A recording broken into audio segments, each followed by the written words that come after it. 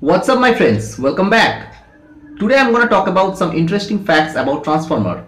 I'm Sujay Das from HCDB Education. So let's get started.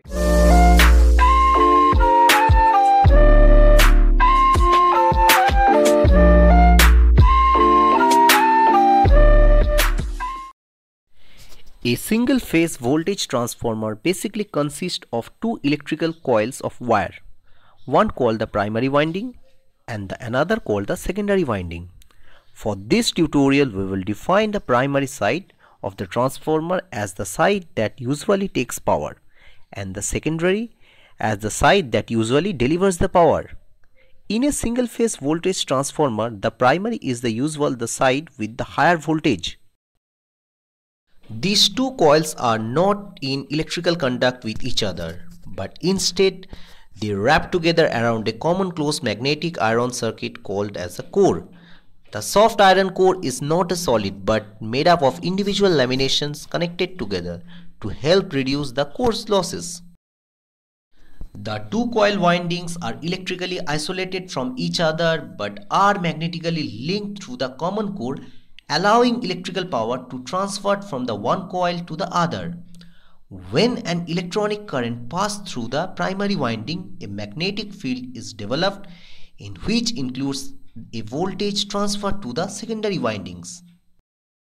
As you can see, Vp is the primary voltage, Vs is the secondary voltage, Np is the number of primary windings Ns is the number of secondary windings and phi is the flux linkage.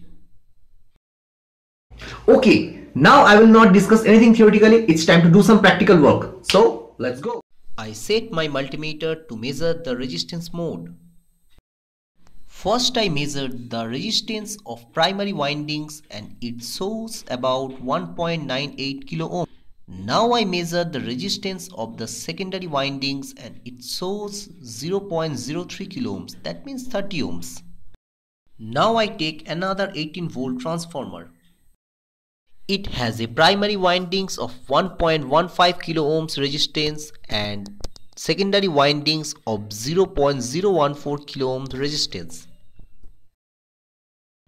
But what happens when I have a giant transformer and I don't know anything about it?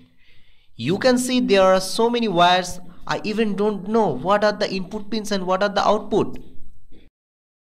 I set my multimeter to diode testing or beeping mode and connect the white and black wire to it and it's beeping. I also check the other pair of the connector and on the black and the white wire I found the beeping. It simply means they are connected together. Now I set my multimeter to resistor testing mode and I connect the pins of multimeter to the upper side of the wires and it shows 9.7 ohms. Now I built a series circuit to test my transformer as I don't know the connection. The only advantage of series circuit is to prevent from the short circuit. I hooked up the crocodile connector to the transformer to see the bulb is glowing or not.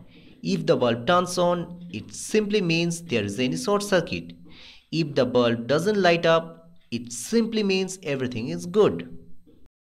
Now I set the dial of my multimeter to AC voltage reading and connect the pins to the transformer.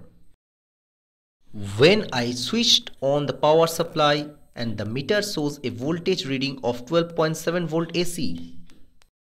Now it's time to utilize the power. I built a 0 to 30 volt stabilized power supply circuit with a volt and current controlling system with TL081 IC and that I will show you in my next video.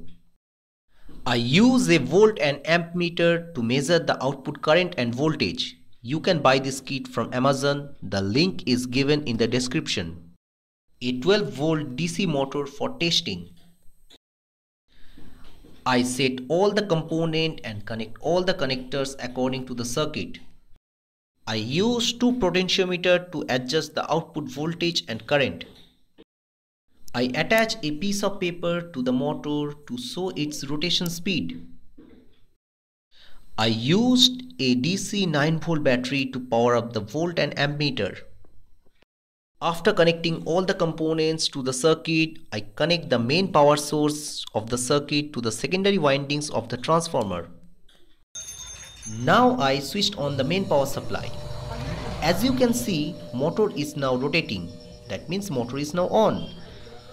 I changed the volt and current level using the potentiometer and let's see what happened.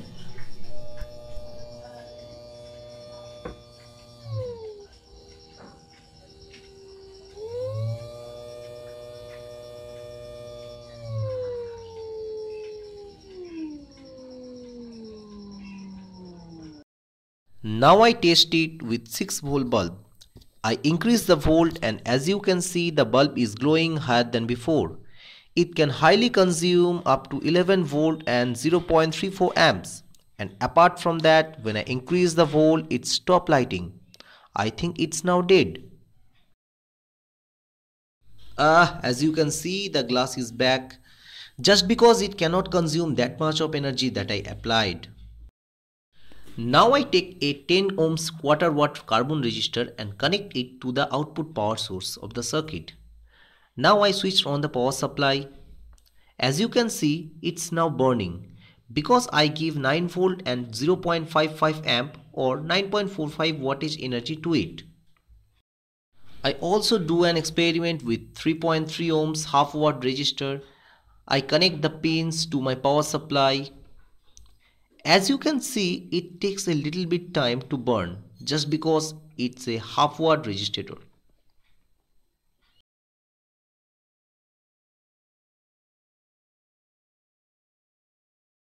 If you like our video, don't forget to like, share and subscribe. Stay creative and I will see you next time.